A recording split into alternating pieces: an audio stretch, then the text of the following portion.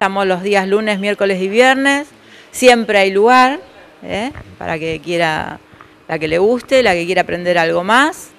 Este, siempre hay cursos nuevos todos los años. Las chicas eh, por lo general terminan un curso y ya se enganchan para el que viene, entonces eh, van adquiriendo experiencia y bueno, ya hoy por hoy pueden decir que eh, si tienen que hacer una camisa la saben hacer a la perfección, tienen que hacer, no sé, pantalones, faldas este, y un poco de lo que es blanquería, que es importante también para lo que es la época del verano.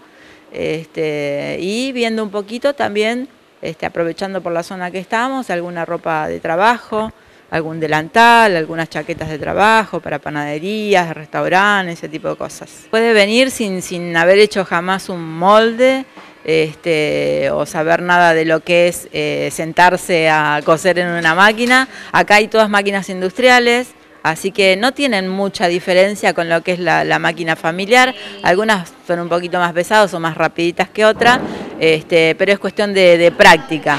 Este, así que bueno, acá tienen todo, desde el aprendizaje de la moldería, la confección y bueno, y aprender a trabajar en las diferentes máquinas. Por eso también la persona que está interesada en decir, bueno, quiero tener mi emprendimiento, ya sé qué máquinas tengo que comprarme, o si quiero ir a trabajar a un taller, ya tengo vasta capacitación en manejo de máquinas industriales.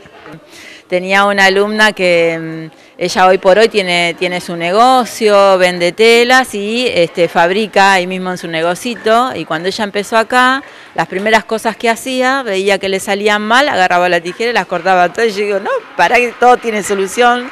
Este, hay que ver dónde está la falla, cuál es el error, hay que empezar de nuevo este, y, y todo sale. Así que hoy por hoy ella está reagradecida, encontró su digamos, su oficio, lo que le gusta y le está sacando provecho.